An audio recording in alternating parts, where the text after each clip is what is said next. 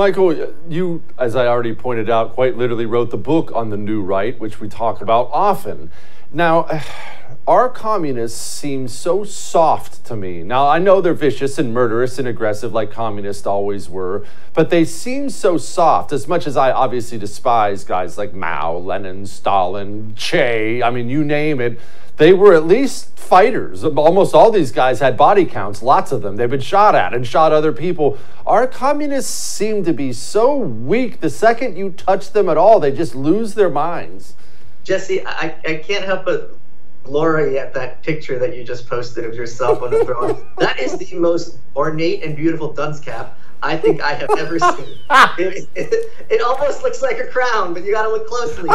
Uh, I, I, this is the point I agree with you completely. The enemy class is not composed of impressive people. And I, just yeah. one simple example that Libs of TikTok um, uh, account that I got doxxed. Look at any college professor on Twitter they're not saying things that are particularly insightful. They're not saying things that are much different from what your annoying aunt or grandma's posting, you know, on Facebook. It's the same mindset, the same insights. You're not going to get some kind of sophisticated reasoning or anything like that. So this is a glorious day, and we're taking the fight to the enemy class. Michael, you're great about psychologizing these people. Look, if I was, I mean, if I was one of these people and I was really upset about the idea of free speech, I would think that would give me a moment, even if it's a private moment, where I thought, man, am I the bad guy here? I mean, remember, he's not some card carrying right winger. He just said it's the public square. Everyone should be able to speak. We don't even know if he'll go through it, but if he does, that's what's freaking them out. They have no idea they're the bad guys, though, do they?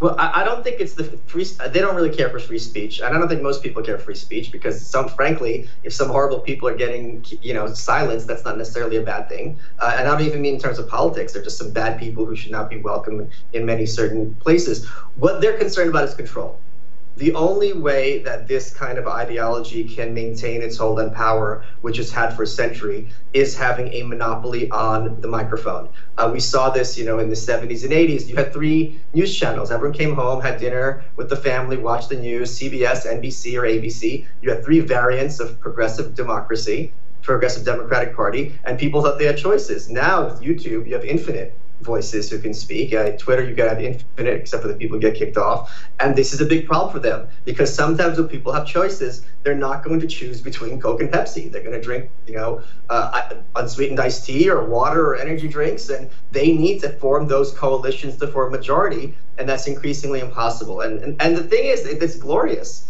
because unless you have a governing majority, you can't do things like lockdowns. You can't do things like send people to war overseas for no reason.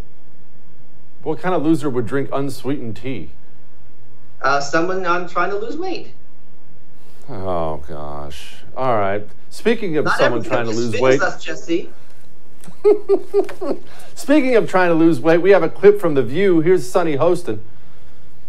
And in fact, on Twitter, it is predominantly straight white men. So when Elon Musk says, wow, this is about free speech, it seems to me that it's about free speech of straight white men. And so let them have it. Let them just go at it. I enjoy the block button on Twitter.